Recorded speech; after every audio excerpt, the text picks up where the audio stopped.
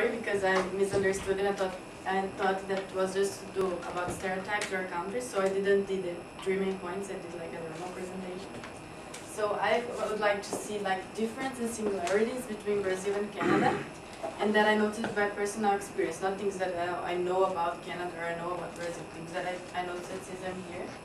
And first I will talk about difference, and I will start with the most, oops, ah, There you go. Ah. no, no, again. Maybe yours is only one touch. Yeah. I will start with difference and first the most obvious one. Yeah. That is the weather. So here is a picture from Rio de Janeiro and here is a picture from Toronto. It's the- the first thing that you notice when I that I noticed when I came, came here was the difference of the weather. Second thing is the that Canada speaks two languages, that is French and English. And in Brazil, the whole country, just speak Portuguese. The third, the difference that I noticed was the drink, the age that you can drink. So here the difference in Brazil is 18 and here is 19.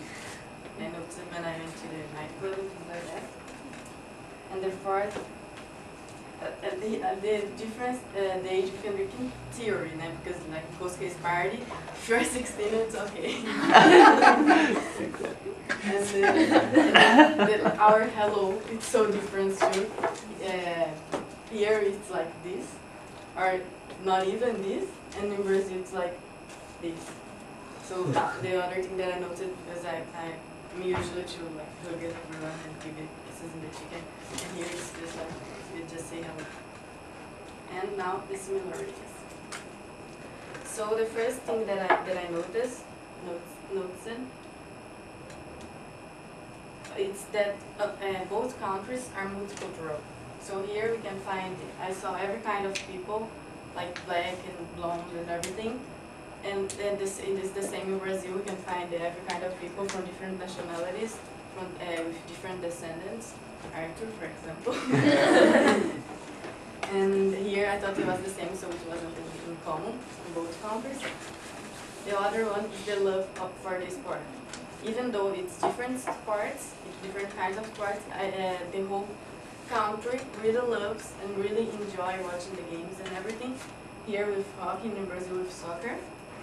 So it was another thing that I, I thought was similar in the both countries, is how the population loved the, the national sport. And the, the third thing that I noticed since I was here and that I already had noticed in Brazil is that not not everyone respects the red sign in the streets. That I thought here it wouldn't be like that, but I always see like cars passing, and in Brazil too it's the same. So I think maybe it's a human thing, not concrete thing. And that's why sorry about don't have three main points. I just had two that was the similarities and the difference. And thank you everyone.